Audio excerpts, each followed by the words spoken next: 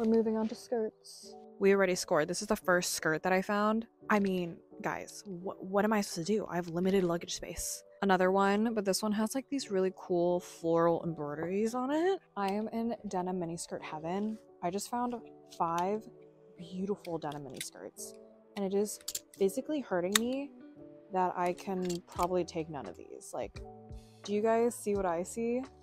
Look at these boots. Hello? The heel is so cute too. Oh my god, I'm so in trouble. I literally don't know what to do anymore because there are so many cute boots here. Like, look at these wedge ones. Plus these with the little buckle. It's so cute. Okay, and why do these like kind of slay as well? They also have a bunch of these really cute deadstock ruffle tops, so I'm totally getting some.